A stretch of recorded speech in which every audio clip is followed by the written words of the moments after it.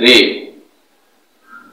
వైఎస్ఆర్సీపీలో భయం అయితే గనక మొదలైందని చెప్పని క్షుణ్ణంగా నిన్నటి విషయంతో అయితే కనుక తెలిసిపోయింది.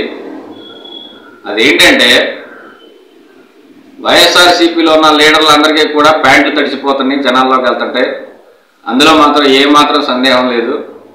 ఎందుకంటే మా పార్టీ అధినేత బీసీ వైపీ అధినేత బోడే రామచంద్ర యాదవ్ గారు మరి డోర్ టు డోర్ గడప గడపకు ప్రచారం అని చెప్పని పొంగనూరు నియోజకవర్గంలో తిరుగుతుంటే ఒక నాలుగు నాలుగు జగన్మోహన్ రెడ్డి పెంపుడు కుక్కలు తట్టుకోలేక మరి ప్రజాదరణ తట్టుకోలేక రామచంద్ర యాదవ్ గారి జనాదరణ చూసి మరి ఆయన ప్రచారంలో ఒక ముప్పై ఐదు వాహనాలతో మరి వెళుతుంటే పెద్దిరెడ్డి రామచంద్ర రెడ్డి సజ్జల రామకృష్ణారెడ్డి మిథులు రెడ్డి ద్వారకానాథ్ రెడ్డి వీళ్ళందరూ రెడ్డిలందరూ కూడా కలిపి ఒక బీసీ నాయకుడిని ఒక సామాన్య కుటుంబం నుంచి వచ్చిన నాయకుడిని ప్రజల కోసం మంచి చేద్దాం అనుకున్న నాయకుడిని మరి ముప్పై ఐదు కార్లని ఆ విధంగా ధ్వంసం చేసి ఆ విధంగా రాళ్ళతో దాడి చేసి అంతేకాకుండా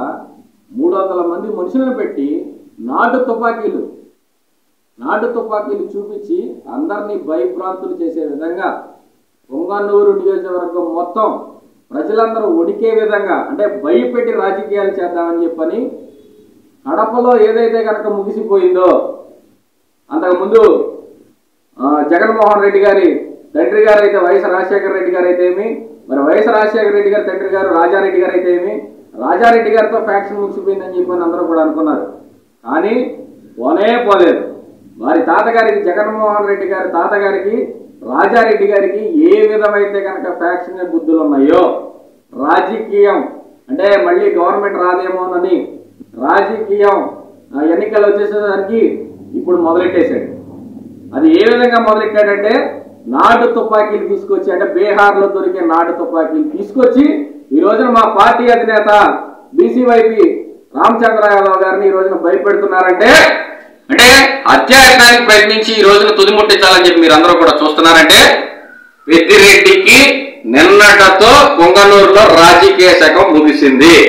మా పార్టీ అధినేత రామచంద్ర యాదవ్ గారు ఏ దాడి జరిగిన విషయంలో ఎవరైతే కనుక వ్యక్తులు ఉన్నారో మరి అందరిది కూడా సీసీ ఫుటేజ్తో సహా మరి రామచంద్ర యాదవ్ గారు బయట పెట్టారు.